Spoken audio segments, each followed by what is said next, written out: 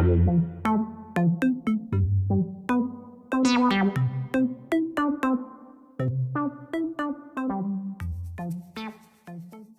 everyone, it's your girl Tammy here, and I am back on another project. This time I have help, my friend Anna, and we're getting some deep beadboard because we're getting ready to work on my daughter's salon. We're gonna give her a complete makeover. That was her Christmas wish, so that's what we're getting ready to do. Stay tuned, you'll see more. This is how my garage used to look before I moved in. And here is the corner nook in the garage where my daughter has set up her shop. And we're going to extend it out from the cube because she need a little bit more space. So I'm going to build a wall that surround that cube. This is her little cube, which she calls it. This is her salon space. She styled and decorated this herself. She invested into herself and I invested in her getting an electrician to put lights in the ceiling because she was using lamps. So now she have a light switch that she can flicker the lights on and off. So I wanted to make that simpler for her. Also, this place needed a little bit more refreshing. And to build the wall, we had to first measure out our boards, as you see my friend Anna is doing now. We're measuring them out 16 inches apart because we want to have some kind of idea of how far the boardings are apart, and that is usually standard. So once we got the boards measured. I knew exactly how many 2 by 4s I should cut, and we were cutting 4 inches off of their center boards, but on the frame that's going around, we left them the standard 96 inches. My ceiling to floor in my garage is 96 inches, so the frame is going to be 96 inches tall, but we're going to have floorboards, so we're going to have to make the inserts of the boards shorter. Here are the boards. Now that we got them set on each marker that Anna did, we are now getting ready to nail it in. And we did end up using screws because the nails definitely will not stay.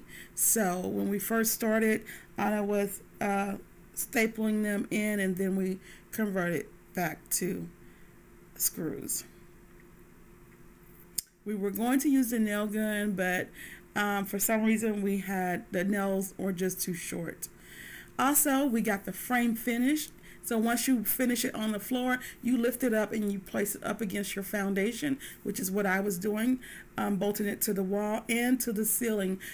And in this case, my ceiling was a little bit um, there was a gapping up there so I found a smaller board and cut it and then I made sure that I mounted it to the ceiling. Right here is where we did our L-shaped wall and Anna is using L brackets right now to hold the L-shaped wall in and we also if you notice we use two two by fours in that corner right there so that we can have um, space to nail our B-boards, or if you were using sheetrock, a place to screw your sheetrock in.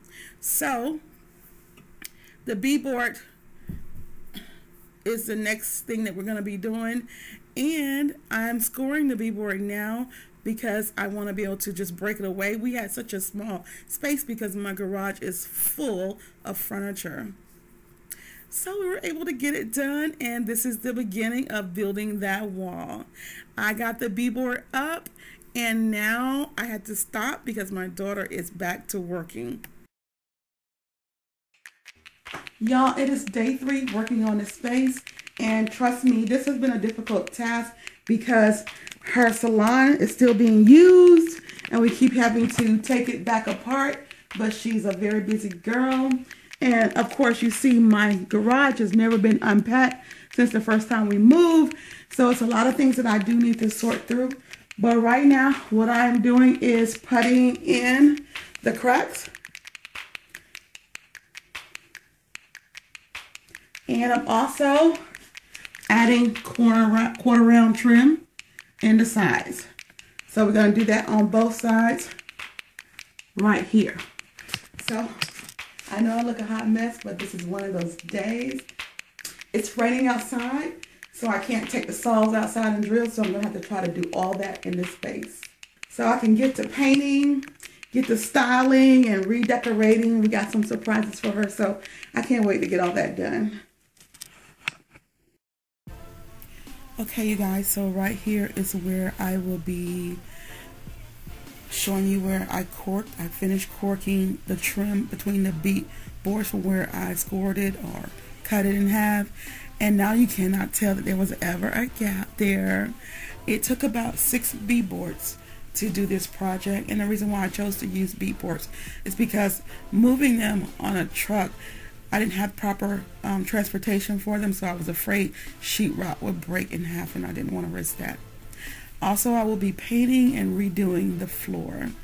Now that I've started painting, you can see the difference in the two whites. The beadboard is our natural white, and now I am using a bright, bright white. And I'm absolutely loving the newness of it and the cleanliness of the white. And as you can see, I've already completed my molding of the uh, quarter rounds in the corners here. And it looks so good. I framed the outside of the, the wall as well. So I'm loving how this is turning out. I'm so proud of myself. I'm working alone today. And um, my friend Anna, she's building a house of her own. So she was unable to really help me the last three days, but it's okay because she got a lot going on. But I know we got more projects coming for you together in the future. Um, also, I wanted to paint the ceiling white because it was looking so dingy and old since I painted the walls bright white and I wanted it to, to have this nice clean fresh newness about it. My daughter pretty much had her own salon furniture. I just want to make everything look good for her and put some pictures on the wall. Also, I want to refresh up that black wall that she already had. It's looking a bit dull, and because she works with face powder a lot, it gets on the walls. And I just want to shine them up by putting some fresh, bare black paint. Okay, this is week number three, but day number four. You guys, I had to stop so many times so that she can work, and I just got really tired. I just took a whole week off so that she can work because she has so many clients.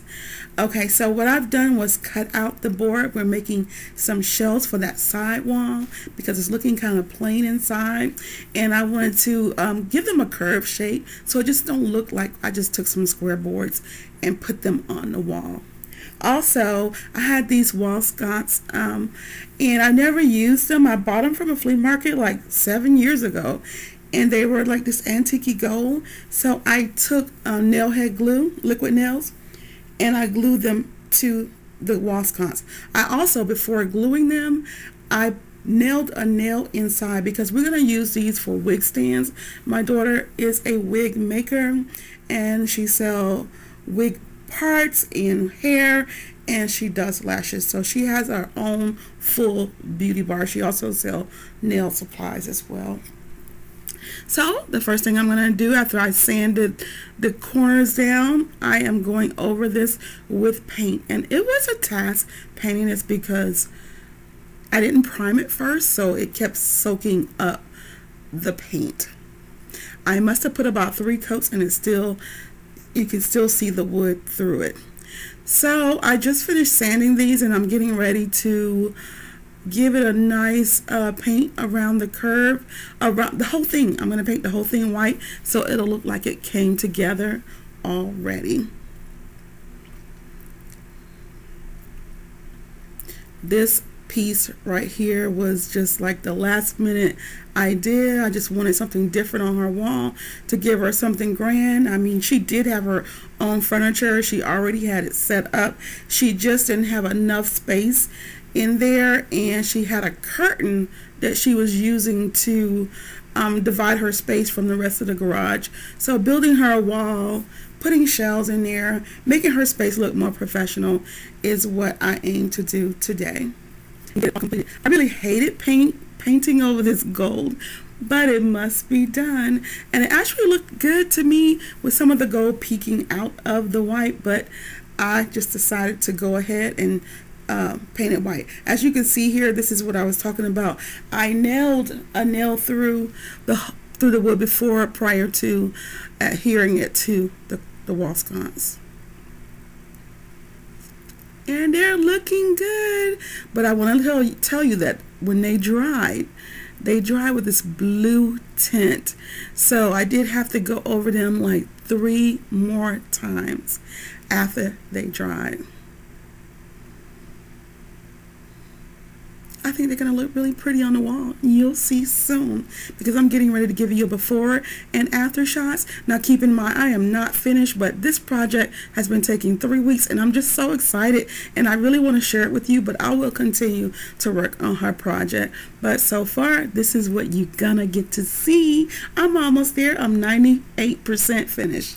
So remember the before? She didn't have the lights in the ceiling, but she did have the floor, she did have the black wall, she did have the furniture. And so you can see where I added more space for her, put in a wall, and now let's see the reveal.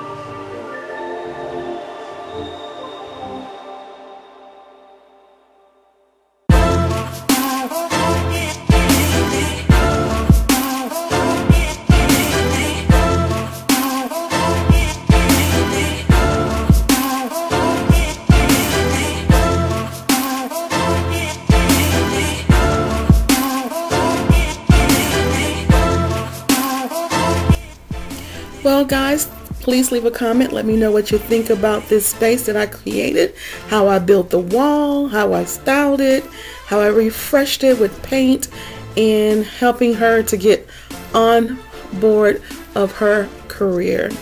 I hope you guys saw some ideas that you can take if you're interested in building your own beauty bar or salon into your home or in your garage or bedroom or whatever space that you have designated for it. I hope you saw some ideas that you can take and do for yourself.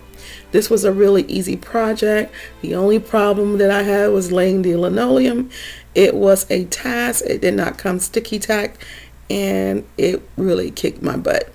But other than that, I really enjoyed working on this project. It was really easy peasy and just time consuming because again, I had to work on her schedule and not on mine. So I hope you do like it.